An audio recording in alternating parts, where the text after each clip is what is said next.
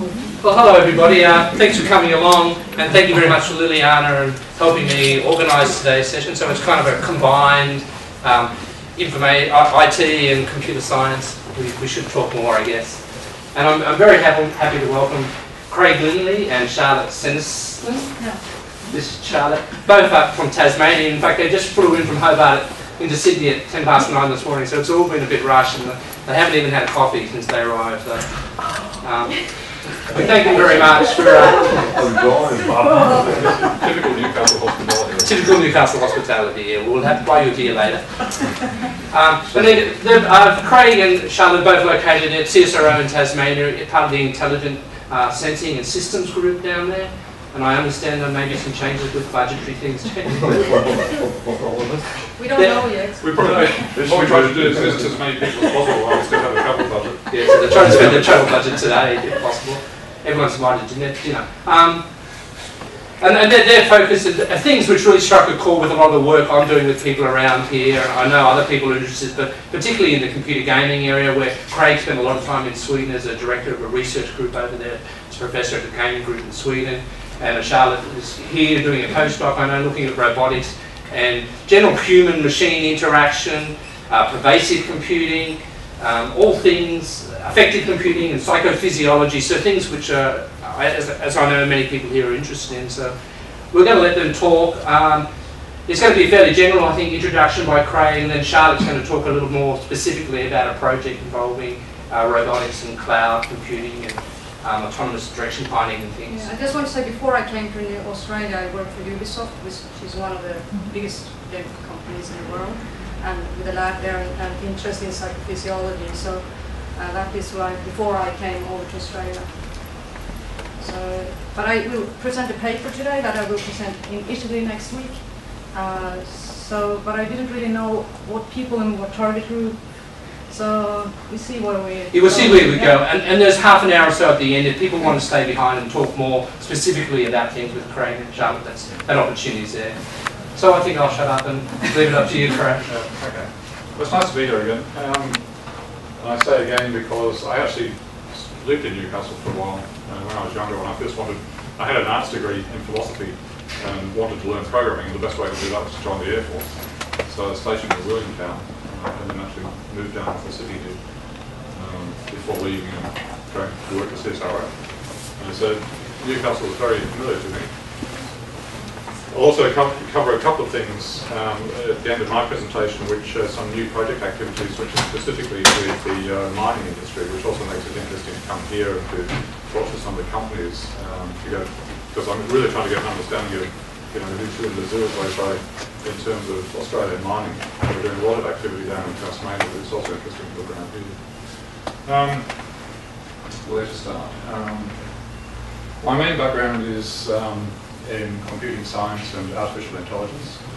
I worked for 11 years in CSIRO um, through to about 2000, um, working on, first of all, knowledge-based systems and the sort of software engineering equivalent of knowledge-based systems, and then working on uh, new paradigms for robotics, which is uh, what I did for my PhD work.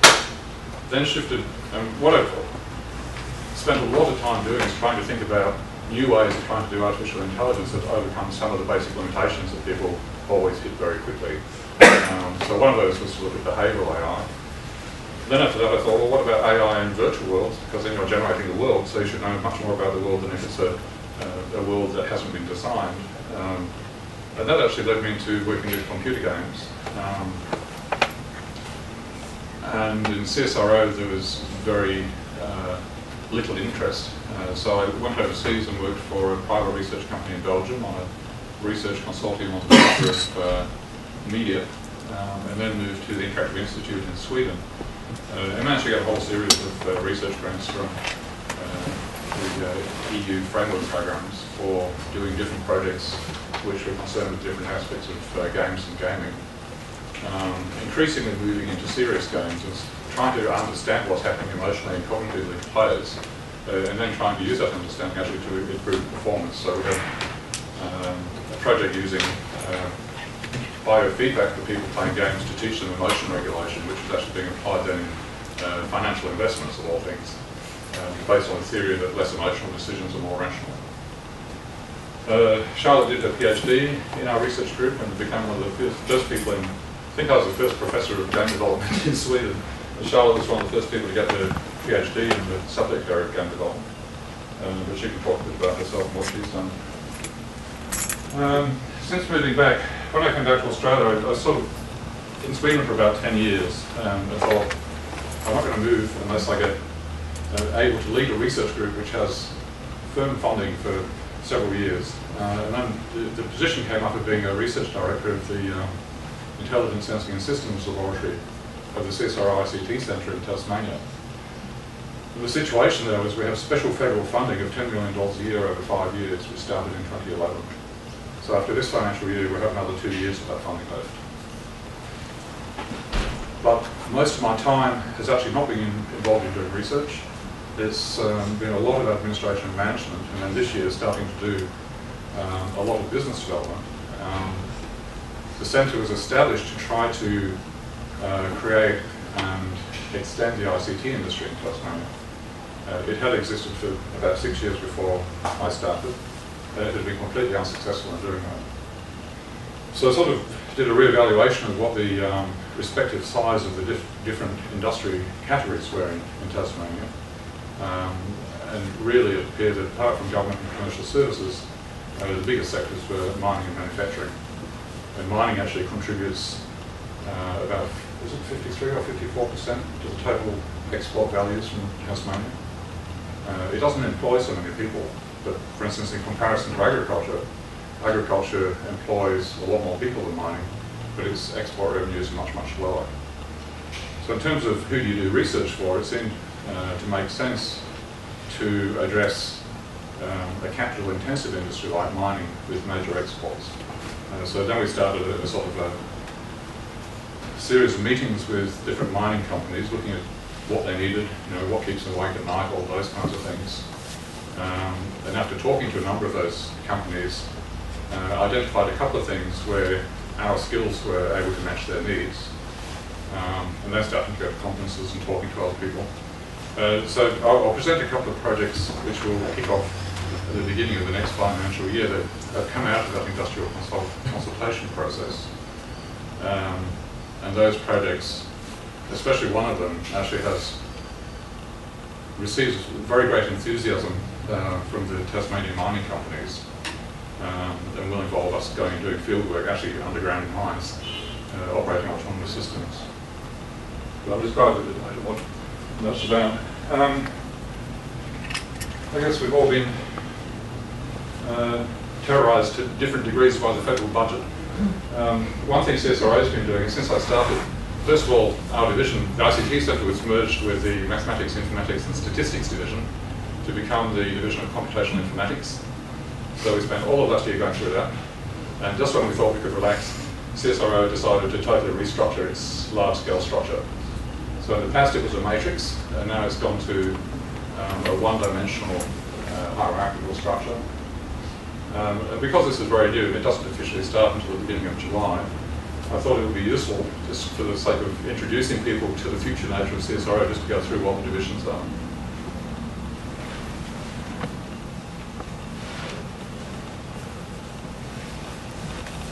So I think this is fine. Because I actually haven't been doing any research for the past couple of years. I've been mostly concerned with management and strategic planning, all these things. For me to describe what I'm doing is actually to present these kind of things because it's this sort of stuff I've been working with very much. Um, the major change, we have a whole bunch of uh, national facilities which are either existing or in development. Um, the collections are things like the National Insect Collection, uh, the National Fish Collection, uh, there's a collection of moles, uh, there are what are the collections? but these are important resources because they uh, include specimens uh, which are the basis of taxonomical categories, so that when people are doing genetic studies of uh, different species or different examples of species from different areas, they can refer to these national collections to um, look at the kind of prototypical uh, specimens that we use to define the taxonomical categories. So it's an important resource for biologists um, the other side is a whole bunch of commercial services, which I won't go into too much, but this is a lot of it sort support things like education, publishing, uh, technical services and testing. Uh, so things like um, coming up with measurement standards and uh, things like that belonging here. But most of the science is done by what's referred to as impact science. Um, the, la- the, apart from CSIRO as a whole, the next level breakdown in the organisational structure from the 1st of July uh, will be these um, nine different flagships. So this year we have 11 divisions and 11 flagships in a matrix. That's now been reduced to just nine entities, um, which is having an interesting effect that you have 22 managers and personal assistants uh, then competing for nine jobs. And the ones don't get those jobs are going to be looking for research director positions. The ones don't get those are going to be looking at group positions. So there's a of ripple down through the management structure of instability. Interestingly, here under the new government, uh, or addressing the interests of the new government, the word environment has disappeared from the name of any flagship. And the word productivity because once here, but it's actually occurring several other times in the next level breakdown of specific program. So now we're no longer about sustainability, we're about productivity. For those people who think the two don't go together, which apparently is our current federal government. So we will be um, within the digital productivity and search programs, which, yeah, to call these programs. One of them on e-health, one of them on autonomous systems, wireless networking, uh, specifically government and commercial services, and data analytics. So for our division as a whole, data analytics is really, or this program is the main uh, research unit which is um, responsible for developing uh, big data and analytics built on top of big data. So it's a lot of statisticians and machine learning specialists. Uh, Michelle and I belong to the Autonomous Systems Program, which is going to be about 91 people. That program is broken down into four different groups. Uh, distributed sensor systems, and this group is very much working with deploying sensor networks within different kind of uh, large-scale environments. So some of the kind of things that we're doing are putting sensors in uh, agriculture, so it's across farms, uh, beef and dairy farms. We're putting sensors in uh, aquaculture farms. We have one project which is putting uh, heartbeat monitors on oysters, so we can monitor the oyster's heartbeat. Um, the obvious question is how fast does that oyster heartbeat go? And it's typically about one beat every four seconds. But by monitoring variability in that, you can actually um, infer things about the state of health of the oysters. Um, another example in aquaculture is um, when it rains, the rain flows across uh, farming areas, so then you get uh, E. coli bacteria from the dropping of, droppings of cows and sheep being washed into streams. The streams then wash into the ocean, um, and if there are oyster farms near high concentrations of the uh, runoff, then they can accumulate E. coli, and oyster production needs to be shut down. That can cost oyster farmers like 150 or 200,000 dollars a day. So one of the things we're looking at is monitoring different kind of environmental sensor networks to try to predict more accurately when those uh, closures are going to be necessary, um, with a particular view to preventing uh, unnecessary closures so the farmers don't lose so much money. Um, computer vision group. Uh, I'm not sure exactly what they're doing. I know they're doing some work with um, interpretation of fMRI data, so they're working in medical systems very much. Um, the robotics group, this is very heavily represented in the um, Brisbane branch of our program. They have a very high international profile in field robotics. And they have worked a lot in the past on things like mining automation systems. Now they're developing things like um, position and movement sensors for cattle, um, similar kinds of sensors for fruit bats. Um, and they're doing things like using uh, helicopters, autonomous helicopters to fly over rainforests uh, to detect invasive uh, plant species. so, our group in Hobart is then the cognitive computing room. Um, we have some of the sensor people on the of physical systems team, and Then we have three major research groups. The strongest one is the computational intelligence group. So we have a group of 19 people who are uh, very, um, quite junior researchers, but very good in uh, machine learning and neural networks. Uh, cognitive informatics group is doing a lot of, uh, a very new group, it's currently to sort of form its identity, very much about um, psychophysiology, human factors, uh, human-machine interaction. Um, I had hoped it would be more about knowledge representation and reasoning, but it doesn't seem to have much of a taste for that. Um, and then we have a metadata and interoperability group, which is mostly working with um, databases and uh, metadata and uh, semantics and ontologies.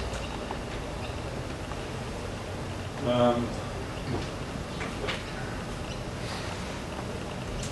now, all of these sort of this structure was formed in the time when we were a matrix. So the big issue now is it's not obvious that there's any specific industry sector which is this. So in the new structure, in the matrix, the old flagships used to provide our business development, and then the um, research groups used to provide the research expertise.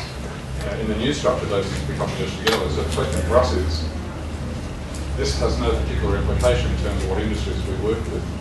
So we start to pick up our own business development responsibility, and that's something that we have to do, which is, uh, could actually imply a very different structure for this. So it's an ongoing uh, question as to how that might impact the way things are defined in the future. Uh, yeah, that's just a quick run through the number of people that we have. So the total group in Hobart is 43. Um, these four teams are the ones that I'm responsible for. World Centre for Honeybee Health. You might think, why is the ICT Centre or why is Autonomous Systems program working with honeybee health? Uh, but that's actually research which is looking at miniaturizing sensors and placing them on uh, insects. So in many ways it's uh, an extension of the uh, sensor research. And Paulo De Souza is a lead investigator for this, and what he's discovered is putting them on honeybees has been fantastically interesting, uh, and therefore it's sort of led to this um, proposal to develop a centre for honeybee health, which is very much focused on providing instrumentation. So uh, the first instance was just using things like um, RFID tags, but they're now looking at uh, building MEMS for inertial measurements so that they can uh, log the motion of bees much more in detail. And then there's a whole sort of ongoing research program to try to miniaturize the kind of sensors and uh, power generation you could uh, put onto insects. Um, not sure if this is even a bee. They're looking at different insects. That's also like cockroaches to try to understand the behavior of cockroaches, um, butterflies. And it's uh, really had a very high impact. People are very interested in it. It's a very, very early days yet. So just before turning over to Charlotte, um, the discussions with the mines, one of the things that they get really excited about is autonomous mine surveying. Um, and this is particularly interesting in, in, interesting in Tasmania because Tasmanian mining started probably like around the 1870s. And some of the mines that were started a long time ago are still active. Um, there is something like, was it 2,613 abandoned mines in Tasmania? Um, and as mining technology has evolved, what used to be a viable grade of ore has um, decreased in percentage of interesting metal. So many of the uh, older mines which were abandoned because they were uneconomically feasible um, have, with increasing technology, you know, people don't know what the concentration of ore is in them, but there's a very high chance that they have ore grades now which are higher than those of currently active mines. Um, so one of the things that they would like to do, we're talking with MMG in Rosebery, who has a very large void spaces in the upper levels of the mine, and, but they're working the mine much lower to depth of, I think it's about 1.3 kilometres. Um, they're looking primarily for zinc, but they also have uh, lead, silver and gold. Um, the void spaces that they have have not been uh, entered by anybody for decades. They have old maps, they don't know how accurate they are. They can't send people in there because they don't know how safe they are. And so it's a perfect application for robotics. So our aim is to um, develop robots that can go into these spaces and use laser scanning to do 3D mapping, and then also use things like X-ray fluorescence spectrometry to try to characterize elemental distributions on the surfaces of the rock. Uh, we're looking at a, a, couple of different examples. Um,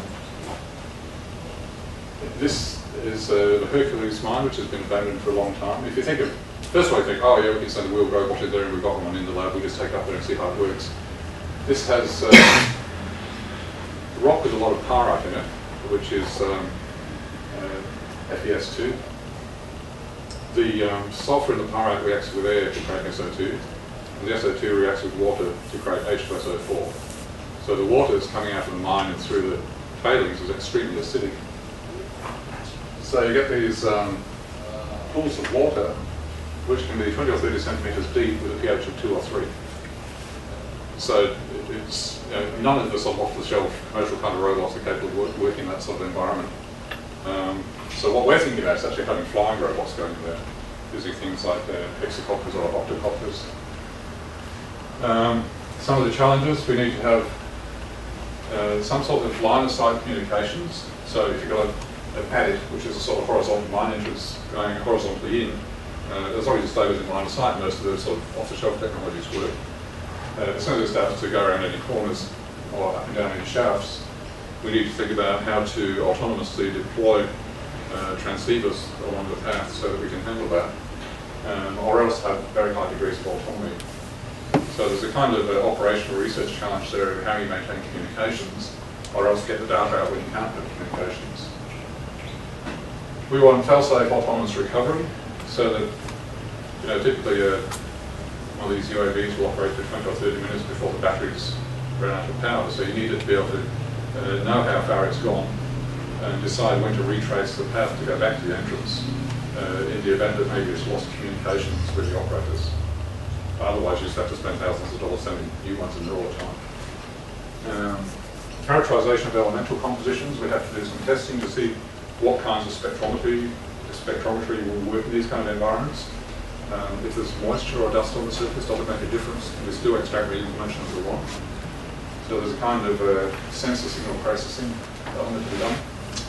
Uh, and then something the mines would really like is also sample collection and, um, and this starts to become a bit more challenging in terms of how to achieve it mechanically and uh, electromechanically. Um, the great advantage of this is means that you go on field trips to the west coast of Tasmania, which is fantastically beautiful. Um, and it's really a perfect kind of application for robotics. Uh, the industry people would really like it, and the kind of difference it can make to them is to actually give them the information they need to know whether it's better to continue mining deeper with a sort of large haulage cost getting ore to the surface that entails, or whether it might well be better to go for high grades of ore which are in these old void spaces and actually much cheaper to extract. So it's something that really addresses the bottom line of the mining companies and they get very excited about. And It's also a lot of really interesting research challenges. So for us, in terms of taking control of our BD process, we come out with research that the industry wants. I think this is very, very promising.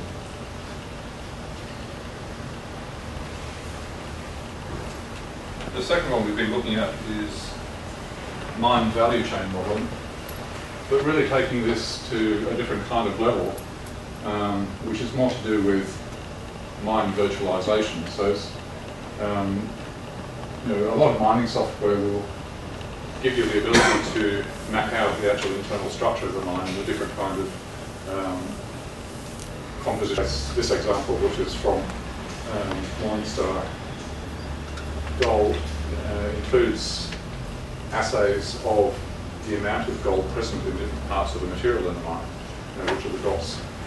Uh, you can also sort of plot out the um, uh, sort of like effectively like if you know, computer graphics, it's a bit like ray tracing, but instead of using rays of light, you do it with core drilling. So you can send a drill to some part of the mine and just sort of spray out drill paths all the way through. And then use the uh, mineralogy of the drill samples to reconstruct a three-dimensional model of the uh, distribution of minerals.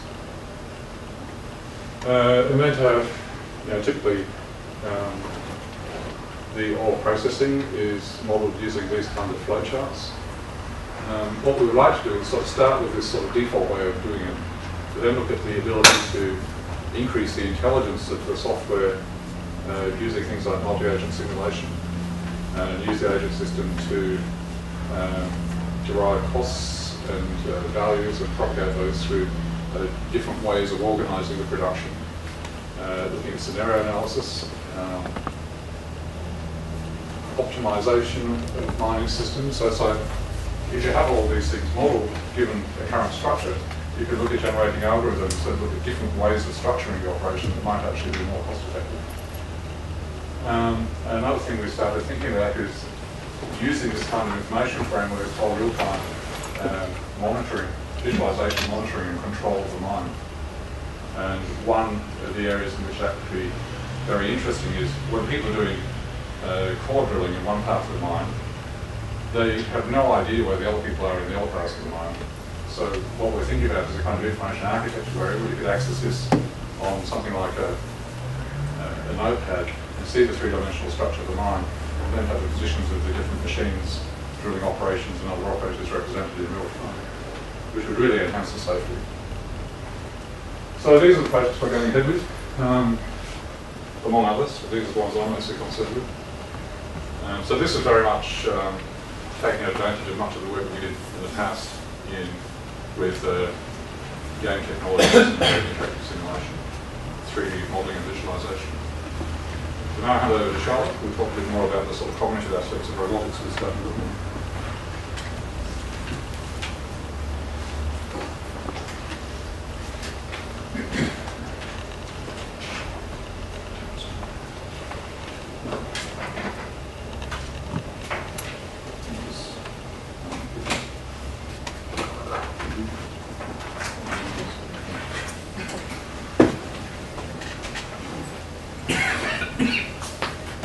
I didn't really know how, what I should present when I heard that we should come up here. I sent the paper to Keith.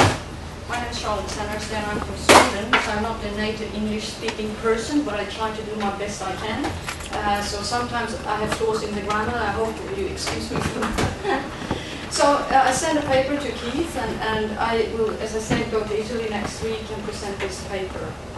And this, uh, when I came down, the challenge was we were a group. I was from Sweden. I had never met my colleagues there as before, uh, and one guy from Canada, and one guy from India, and one from uh, Germany, and one from Switzerland. We came, we say, from uh, uh, different disciplines. I come from cognitive science and computer science. Uh, two guys came from psychology background. One guy came from signal processing, and uh, our uh, task was to uh, build this e, science platform, which actually then is a platform where we take in, we say, human uh, into the uh, consider the human in uh, processing its information physiologically into the engine, so we can um, incorporate emotions, what we see, what we feel, and uh, on that data into the engine, we can also make certain decisions of what uh, now the context is and the decisions are about to build that system. So what we started out with was to look at, oh, how do we start here? Mean, this is a jungle. with, in itself, we say to build a platform like that uh, uh, with programming and physiology, psychology, it feels like a very big task uh, and uh, we had uh, little problems there from the start, but uh, this paper I'm going to present now is the first outcome of our struggles. And uh, maybe Keith uh, will can share uh, the paper, or I send. So- yeah. I'll put it up If on you're the interested.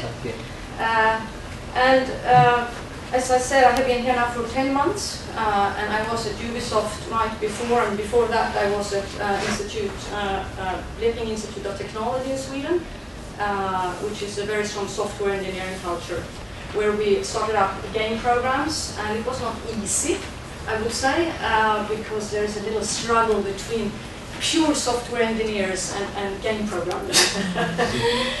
Uh, so uh, 10 years of experience with that, but then going into Ubisoft, a fantastic world with 6,000 employees.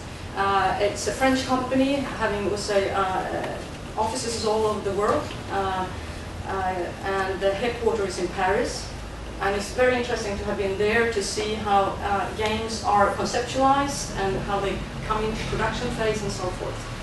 Now, moving from virtual worlds uh, into CSIRO uh, with uh, the task to map the real world is a very fantastic journey. And as Craig said, half of our group uh, is in Brisbane. And they have developed this scanning, uh, it's a LiDAR scanning technology, uh, uh, which exists outside CSIRO as well, but they have uh, built on this and which they have a quite high resolution.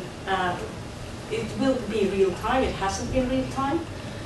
With this in mind, you start to think, whoa, what can we do with this? We can do so much. It's a wonderful world. There are no limitations. but it has to be uh, concretized and systemized and uh, concrete. And so how do we do this? So this paper is part of this journey. And uh, you are actually the first one seeing these presentations. I, I, test my wings on you and uh, see if you understand anything of this. And just work here.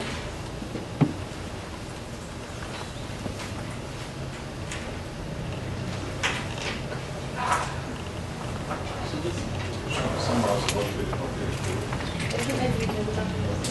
What you did, what you did. So Charlotte PhD work firstly looking at um, studying visual attention in computer gameplay. Um, and when we started, where we were in Sweden was one of the first places in Sweden to start a game education program. Um, when it started, there's almost no material whatsoever, uh, like theoretical material, false material. So a lot of the work that we did in the research was directly into teaching materials. Um, we very quickly came to realise that there was very little done on studying how people interact with games or the, what motivates people to play or what the effects of play are. so then we started looking at different ways of studying interaction. And Charlotte um, concentrated on eye tracking and then during the year project was also using other kinds of measures like cognitive physiology, fMRI, and behavioural studies and things like that. So that was very much about one person interacting with one game.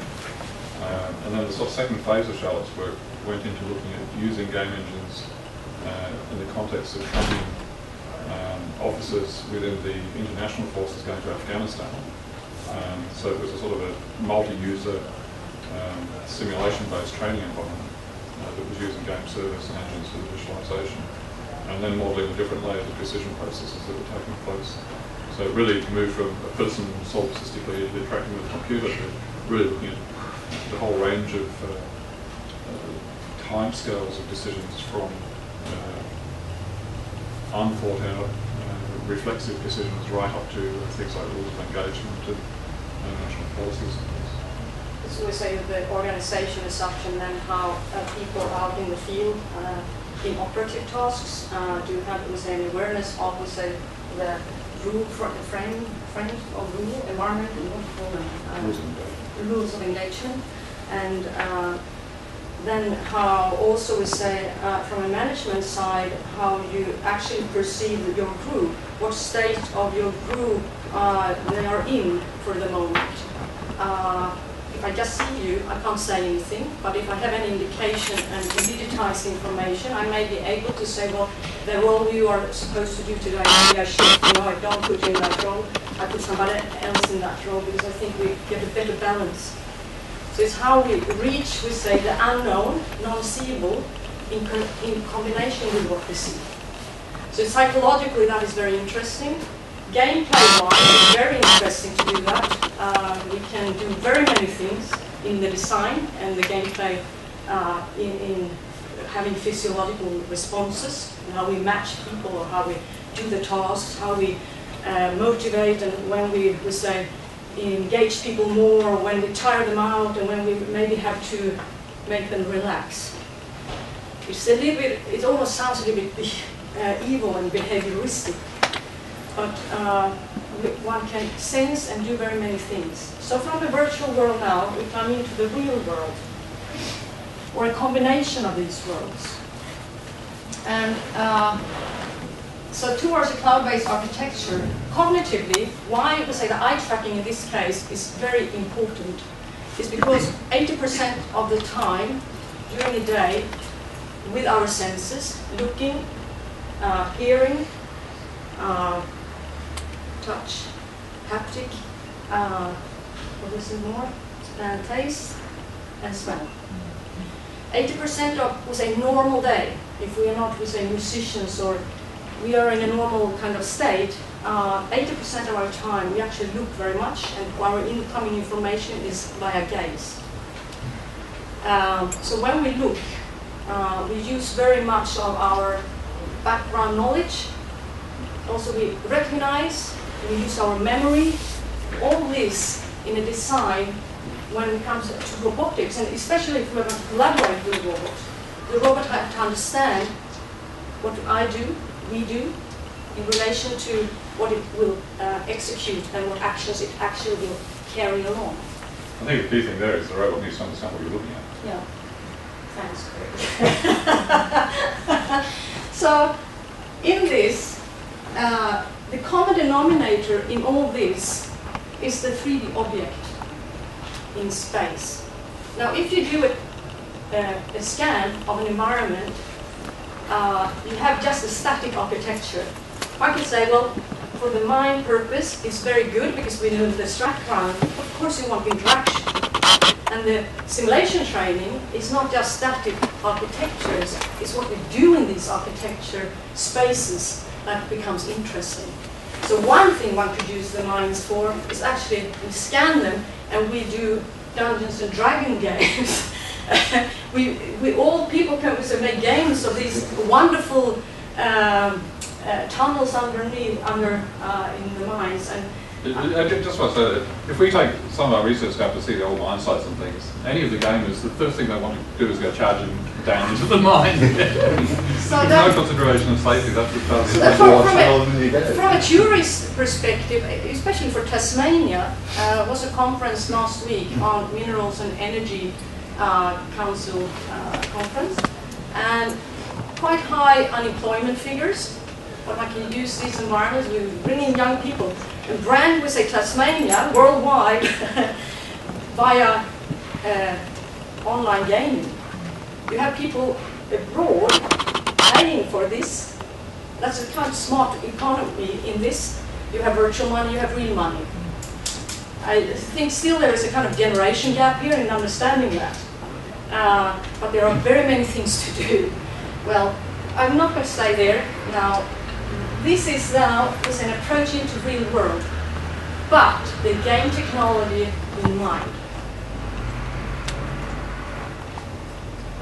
So with the uh, keywords here as slide content, uh, you will meet here adaptive character of thought rationale. It's a, an, what is called an ACT-R model, uh, which somehow distribute or has the possibility to distribute the resources you have as a person, and this model tries to understand what happens. And there have been several uh, models uh, uh, historically, back in time. We are trying to look at these and understand what we can do, what they lack. Uh, the 3D object perception, there is a difference in 2D and 3D, of course. And some of you are programmers maybe in here. How many computer scientists do we have? Very many. so, um, and are you 3D programmers? Yes, wow. Uh, maybe we can work together. so, uh, and then the knowledge representation that Craig mentioned will uh, be also in this paper if you now get it from Keith. Uh, level of autonomy is very interesting because very many times when I mention robotics, um, people think, oh, bad. Uh, and I have had friends that have experienced that when they have been programming systems, but they actually feel very bad that uh, people uh, that are in action and employment, that they might lose their jobs. The, the, the good relation here is to say that you combine autonomy when it's dangerous situations with a human. You don't build away the human because that is to say a bad combination. You assist the human.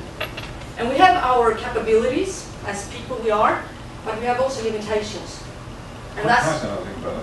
Yeah. Uh, is it, one thing I wasn't aware of until fairly recently is that as, you, as mines go deeper, they become really hot. And you don't have to get too deep, I think it's like around a kilometre, they start to get up to temperatures around 100 of uh, 60 degrees, which starts to be very, very uncomfortable. You can have, so there's a big issue of ventilation and refrigeration in, in mine spaces, but as ore grades decrease and mines go deeper, they become less and less hospitable for humans. And so that's the kind of uh, situation where it just doesn't work simply. Yeah. Uh, trained for or prepared for. Um, then we said real world knowledge cloud and the virtual world, how we make combine these. And the co-boundary model is actually the main contribution of this paper, is to have looked at the old models, what we can do, what and what actually is an ontology approach, what that can contribute, but also from the cognitive perspective, how we combine these. Uh, maybe one would be enough and we could exclude the other, or that they are in combination. That as well, we said, to what level do we use cognition and, and, and ontology in a system? Uh, and it has to be dynamic, it can't be static. It has also to understand objects from different front, side, and back, because we are not just an object with a name. We move, and if we approach a person, we actually come maybe from front, and if I'm a car and I come close, that means something. The distance is very important here. Uh, and relational constructs, kind of a database where you see how the common denominators hang together and the common relationship mappings. I'm going to see how much I can go through now. Otherwise, we might be able to come back, or uh, you will read the paper. So I'm going to be quite quick on certain things here, and then I will talk more about others. So Oh, what, what's your expectation in terms of whether people are supposed to read all the text? no, no, no, no, you won't, uh, and you, you don't have to. I can give you the slide as well, you can look it through uh, individually afterwards. Uh, the, anyway, the, paper, the focus of the paper as such, uh, and uh, why it's interesting to talk about this, because there is a high interest in this. Uh, we focus on the use of robotic 3D object perception, because that is core. Uh, and propose the use of cloud-based infrastructure, that is, we say, to use all the information we need at hand. And that can, because we are in a dynamic world, it has to be flexible. And we have to have, we say, the information at hand where we are, depending on what context we are in, and the task.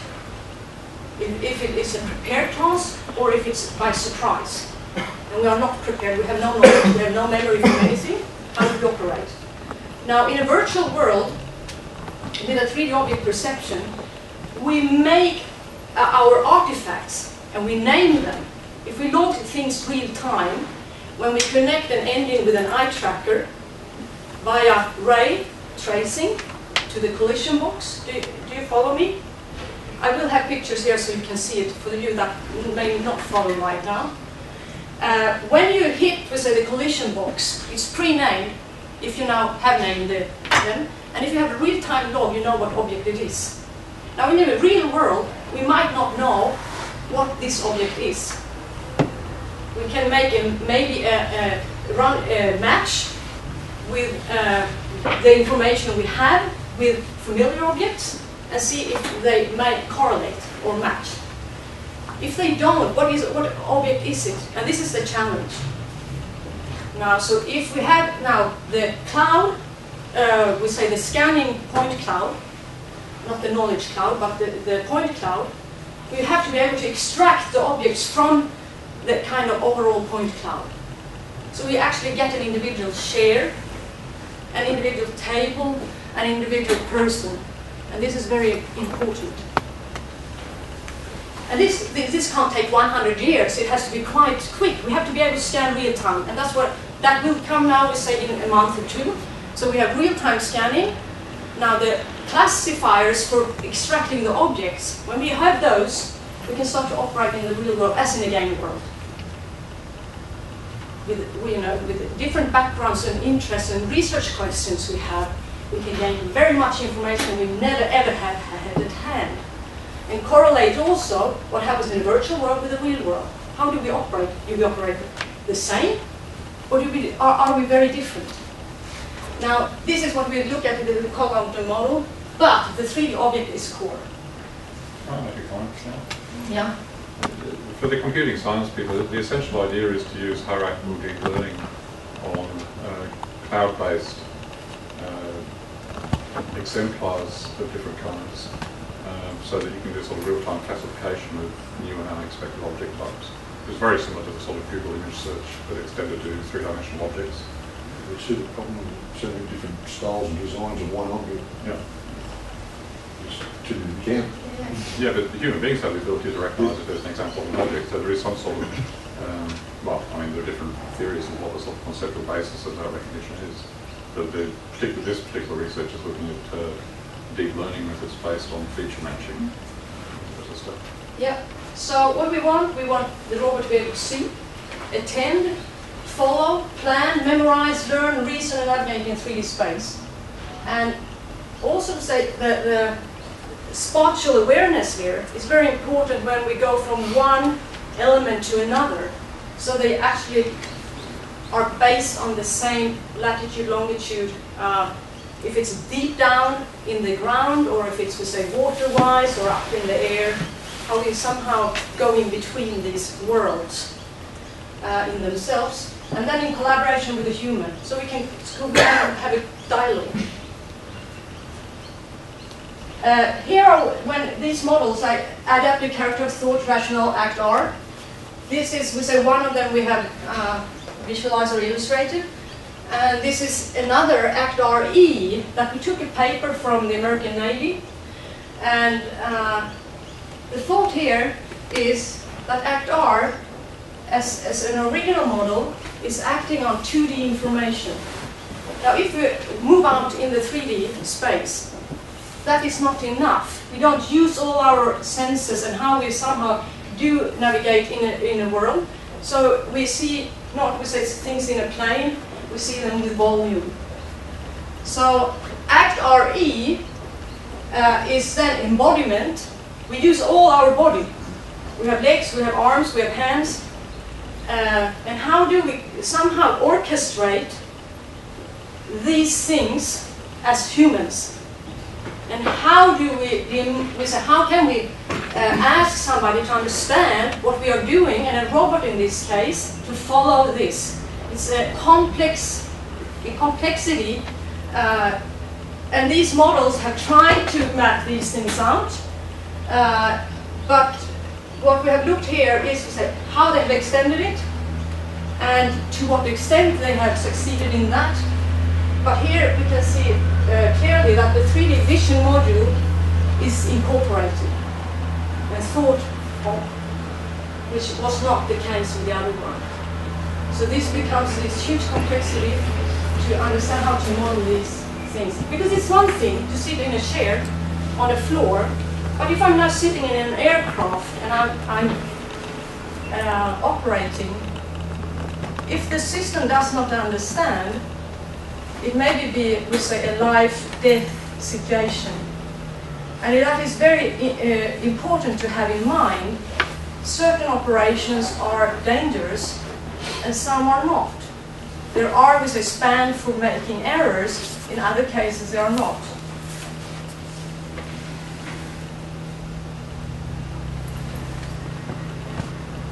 I will flip through here a little because I want to uh, mention that. Now here uh, is then the physical world, the virtual world, and the cloud, knowledge cloud.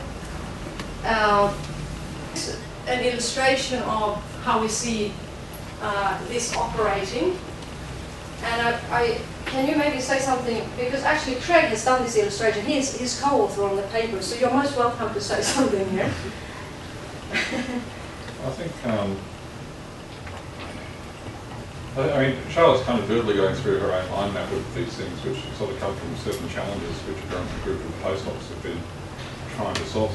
One, one of the key questions here is, or one of the or key opportunities, is that in thinking about cognitive robotics, the cognition doesn't have to be kind of like um, sort of identified with a single physically encapsulated robot.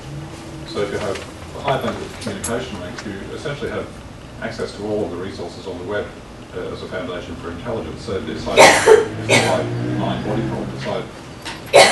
The body can be anywhere and the mind can be completely distributed and very complex, possibly also have a hierarchical structure. And in fact, the, the cognitive mind of a robot can change depending on the nature of the task it's trying to solve. So how do you start to formulate the sort of intelligence architecture needed to, to address that? Um,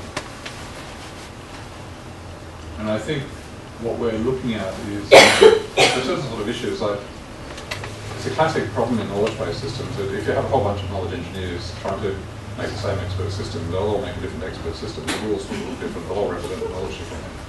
Um, That's like anything. yeah, yeah, We all yeah. 150 students write the same program in different ways, 150 different ways. all achieve, achieve the same time. So the question here, if you've got uh, actual um, knowledge bases on the web in the form of rule sets and things like that, how can you start to investigate their similarities and differences, and how can you know whether they're relevant to a particular kind of problem context? So we looked a bit at one of the people in the group was coming from a sort of semantic web background, and my question was, so how do you represent these different kind of knowledge representation formalisms using the semantic web, which can then start to map out the um, correspondences between the syntactic structures of different languages. And then, of course, you've got the question of the possible correspondences or not of the um, semantics built into the concept of the different representation languages. So if you want to, but this is also a problem, it must be a problem in human heads as well, you know, you've got lots of different ways of solving problems uh, that Some somehow... lifetime of experience, but Yeah, exactly. Now, for a robot, you don't have the same kind of lifetime of experience, but you do have a sort of world internet. So I think what we're saying is, can you um, create something out of the internet that, in the case of human cognition, functions in a way that's somehow analogous to episodic memory? we see how you did that from online games, just watch what other people react and how you know, learn from that. And it's like with Ubisoft, they log. I mean, online gaming, uh, it, it's logged. And so, uh, of course, they have access to their own data. So one is interested in how, say, games are played and what happens and, and when in time with what people around the world as communities. Uh, and if That comes, yeah. I I think for this, we're sort of starting off looking at how to generate um, classifications of objects based upon visual similarity with uh, visual resources that reside in the web. Um, games and other behaviour representations. We have some other work in behavioural informatics that's looking at, tracking movement through space, which can be of animals or human beings. Yeah. And then you have movements, of course, they could be virtual ones in game worlds or they could be real ones in physical environments. And then you have a whole other thing that autonomous systems can use uh, by observing behaviour in the world, they can map that against uh, other behavioural representations to find similar behaviours and then use that as a basis for starting to uh, match their purposes and you know, compare um, techniques that work and techniques that didn't work and those kinds of things. Yeah. So uh, this is uh, not very high, good picture. I, I, I did this yesterday, so I should I, really hurry. uh, but here we say extract the 3D objects, as I mentioned, so we don't have to make. Now here, for uh, you, this is actually is an illustration of the whole system. No, not the whole. We are, we say this is the robot learns from human, so we actually have to understand the human first. In some cases, maybe we can ignore the human sometimes, but we have to understand the human if we are going to collaborate with the human. Or if we are going to collaborate with the dog, we have to understand the dog. Uh, so this is the screen, and in my PhD, uh, that was to, look at the XY uh, coordinate, uh, coordinate on, on the screen and then uh, ray trace or inverted ray tracing into the world so the uh, collision box was hit. And in that, uh, it was uh, also long real time. So the, this is a debate now among quite many. If you have a 2D screen, how on earth can you say that you are having a perception of a 3D world when it's behind the screen? Now think about the pilot operating and is sitting in the body, the helicopter body, and having the visual cues outside. He uh, or she has also a screen in between. Now, this is not a stereoscopic vision. It's actually a one can say, false uh, stereoscopic vision to understand what actually you look at. Because if you look at the XY on the screen with the object behind, you say that you look at the object. So that you shoot this in and you have a hit on the collision box and that uh, your gaze will be logged real time. And so in a game, what we have done is we say when you play, you see the objects and then they have a log file and you see, okay, for 30 milliseconds, this object, this object was looked at, and then another object, because it's a dynamic world. This was before done with uh, default with eye tracking is that you track it with video. It's video recording and an overlay of where you look. But when you are going to analyze that, it becomes very time consuming. Uh, if you don't may use a certain image processing algorithms to pin that out. But here it is we say, if you're going to track, you can also steer. If you can track the environment, you can also, of course, when you look at an object, as Tobii now in Stockholm, which is one of the eye tracking companies, uh, that you start to use it as a gameplay feature. So at certain times, you look at an object and you steer by gaze, but combine it with mouse and keyboard. Maybe you could, you- you're going to describe the actual robotics project and how this works within that, with the uh, robot arm? No, Maybe just No. concrete. uh, maybe, yeah, I'm, I'm conscious, Craig and Charlotte, that some people may need to to leave. he- head, head out for, Yeah. for other things. So But uh, we'll can- keep, we can keep going for a little bit, but Yeah. it, it, but please, people, if you do need feel you need to go, um, just just get leave and. Uh, Maybe they people would like to leave now if anyone needs to go, and they can contact me if they want more information, and I'll make available the paper and the slides. Yeah, yeah.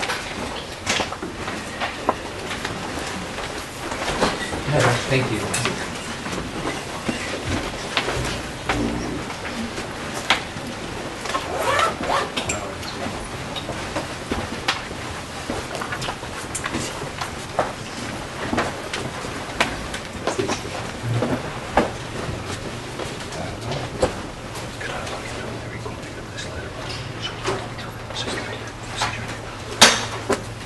So I.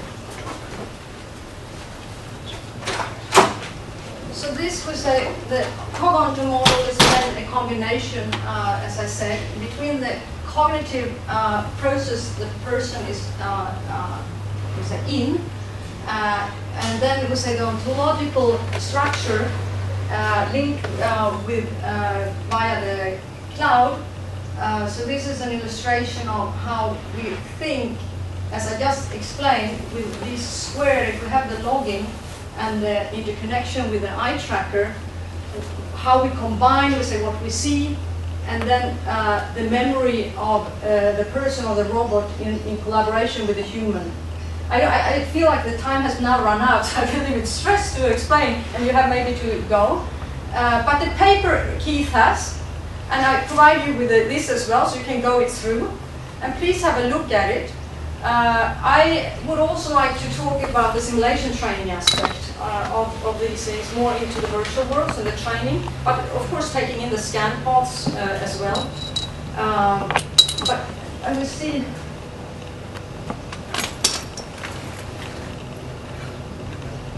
Well, that was it.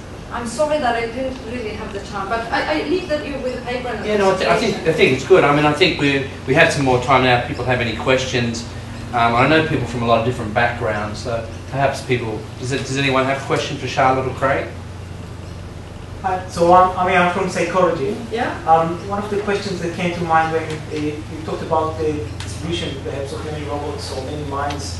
Um, to me, when we study human behavior, it all comes down to action at the end of the day. So almost irrespective of whatever the internal process is, we, we try to quantify it, measure it, and, and also uh, evaluate how it contributes to action. Um, it is very interesting to me how you uh, aggregate, I suppose, the information from many different agents or robots, and in particular, a human and a robot to a final decision. For instance, who is outweighing who? Is that just a majority vote? Uh, is there any situation in which the robot would outweigh the decision of a human being? Is there a way to assess the quality of the input or the quality of the information each robot may have to collate the, this um, distributed information to make eventually a single action or a single decision. How, how do you cope with that issue? Well, I would say that we have not, probably not come that far with,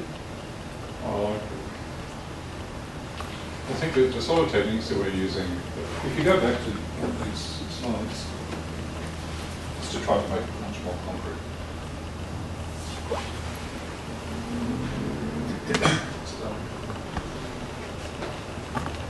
Uh, if you think of this as a sort of a human interacting uh, through an uh, eye tracking screen with uh, models which are generated virtually, there's a whole other thing here, which is a robot operating in the world, is looking out into the world, maybe has a laser scanner, and that's generating, um, the laser scanner generates point clouds, so uh, instead of actually having an image of an object, you have this, and then you go through uh, a process like tessellation, which is um, wrapping polygon models around those objects. Um, once you've got a polygon model, you can use very standard uh, techniques as are used in computer games to uh, select objects. Uh, so then, in this case, you can use the XY position of the gaze on the computer screen just as you use XY position of the mouse. Um, so then, the robot through this technique can know what the person is looking at. And that becomes part of uh, the basis of interacting. So when you're giving it instructions, for instance, you don't have to point or you don't have to speak. It, it, you know, if the robot says which object, you just look at it and say that one. They will know. But your question was Wait, more on wait. orchestration. Yeah? I'm that. Yeah. The big question in here is, how do you then, uh, the tessellation is one thing, but can you say more about the objects? And if this was, for instance, a, a virtual reality system, you might want to bring up all kinds of information about the object, but that would crucially depend on knowing what it is. Um, and then that requires something like what I mentioned, we're looking at things like ensemble classifiers, which is like having different machine learning techniques. Um, all of those kinds of things have to, the classifiers have to be developed on test databases, which have been pre-classified by human beings. And I think the whole idea of using some sort of cloud-based system is, it, it's an extremely hard problem to have a robot operating in the world and learn the meanings of words and, you know, concepts for objects which are going to be have a sort of meaningful correspondence with how human beings structure their experience of reality. Um, if you use the web, then you've got a whole lot of stuff there which has been uh, has descriptive text and tags and keywords and stuff which human beings have attached. So you've actually got instead, you know, if you have a baby, uh, you're going around with a baby pointing at things and saying look, look, look, uh, or you know, cat, dog, house, whatever. Um, you're kind of doing the same sort of thing, but you're using images where those things are tagged, which have been provided. It's a huge, massive database of images. Um, but actually, how, how sure can you be that you get it right uh, is actually a research challenge.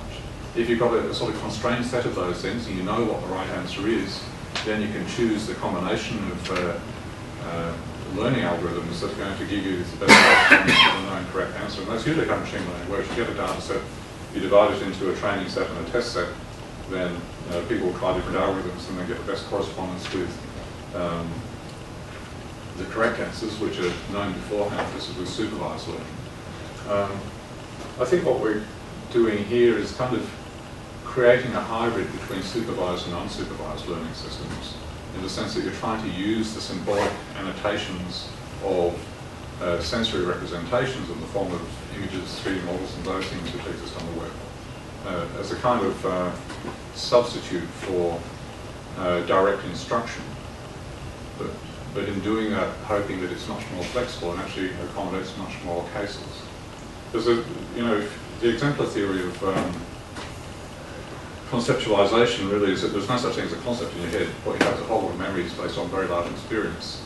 And a concept is a kind of emergent phenomenon, which is a sort of abstraction of the sum of all of those memories with a certain kind of associative structure to them. And I think that's sort of what we're getting at here, that it, it doesn't need to be an absolute categorization. It's more of a, uh, you know, those symbols most strongly associated with the best match with the current situation uh, of all this similar sort of content on the web within some sort of feasible range, which is within the time constraints of processing. Um, but then, you know, what is best can be very dependent on the context.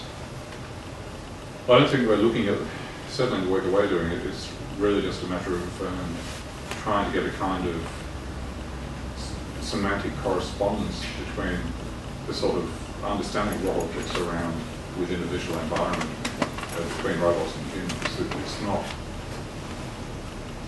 we're not at the moment looking at problems where it needs to occur that we, we would even consider a robot making a decision that would um, be more powerful than a human decision. But having said that, even the sort of search process that returns a result is a kind of decision making. You could say every time we Google something, we're accepting the results of an automated process and taking its authority as being greater than what we would come up with if we tried to search for everything manually, which would be impossible anyway, because it has, already has access to far more information resources than we can possibly process just as one person in, in their own head. So the sense of Googling is just combining the decision making of lots of robots in a way, Yeah. autonomous agents, combining and making some weighting on. Yeah. So all those algorithms that apply to something like a Google search engine are, are kind of, I think, what you're getting at, Andy. Yes, I think that is one level. So, I mean, this comes back to the notion of wisdom of the crowd. Wisdom of the crowds, yeah. Um, but also, I mean, if I just follow up on this Google example, suppose that I, I have two movies that I want to see and I need to only choose one of them. So I run my Google search and then I get to the IMDb, which is one website that gives a score for the movies. And movie A scores better than movie B. But uh, I know something about perhaps the validity or the amount of information in this particular website. There's another one, Rotten Tomatoes, Yeah. which gives the opposite score. Good. So now to combine the information from the Google search or from the robots um, in a way that is optimal, um, one needs to have some meta knowledge about the validity of those information sources um, and make judgments about uh, some hierarchy. Uh, right? And, and so any challenge of making a decision, I suppose, I, I like the choice of uh, words uh, in orchestrating, orchestrating this um, body of knowledge. Seems like a, a mighty challenge. Um, I think it sort of raises the question of, uh, I mean, there must be endless different forms of validity, and different forms of validity represent different interests. So every time you Google something, you're getting some sort of, uh, you know, representation of a whole lot of ideological biases, market activities, those kind of things. So the result is not neutral in that sense. I mean, the more a company pays Google, the more it's going to be represented in the returns of services. So it's, in no way objective. Um, with the scanning, of, say the minds, and uh, choose objects and classes object, correct? Yeah. Is it going to be a repository of somewhere where another autonomous um, scanning unit say, oh, hold on, that robot doing this, scan that, and says that's what that is. I've learnt that then. Yeah. Is it? Yeah. Because that can be used from so many things, like Yeah. just for, say, um, Game rules. Each player now, 36 players run around on the field and they track them. And they see what decisions they've made on what the player, his, his marking man has done, and where the ball is, what's happening, which way the ball's going. So that could be all, if there's a repository for that, it could be used in all different sort of, mainly the game world, because it's decision, uh, decision making on what's going on in real, real time.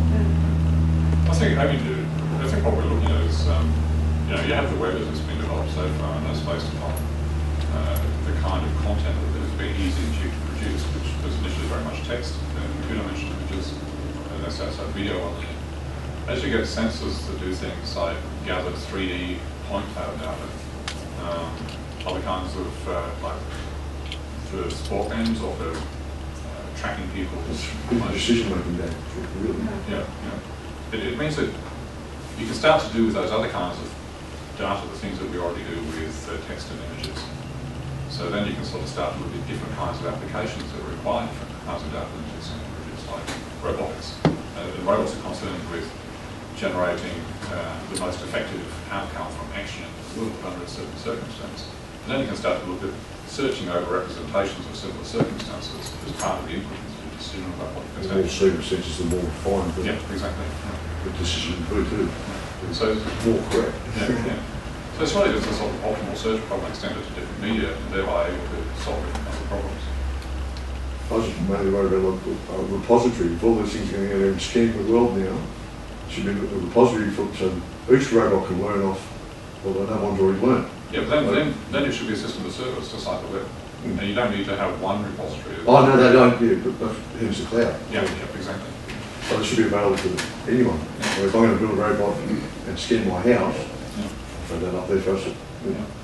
And everything that the robot does, all of the um, images from its vision system, uh, all of the point cloud data, all of that can be stored on the web for reuse and, you know, searching and matching against uh, the other kinds of data from other kinds of robots with different sorts of metadata attached to it. So I I think it's uh, incredibly, it really is a sort of paradigm shift in the nature of robotics.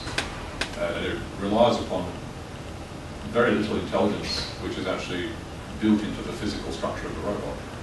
This greatest thing that the robot needs to take advantage of it is a high bandwidth connection to something that can do all the searching. So the intelligence doesn't need to be on the robot at all. The intelligence itself can be scaled according to how much bandwidth is available, how hard the problem is, all those kinds of things. I think we're going to sort of have to finish up in a bit. Is there, is there anyone else that has to ask questions or what? We've got two weeks, haven't we? Sorry? We haven't got two weeks, haven't We we? haven't got, right, hasn't, all- they might have two weeks. Uh, I'm sure we're thinking Not this week. Not this week, no, not this week, no, no. Um, anyway, well, I'd like to thank Craig and Charlotte for coming up and, and their talk. Uh, so I think it's pretty has.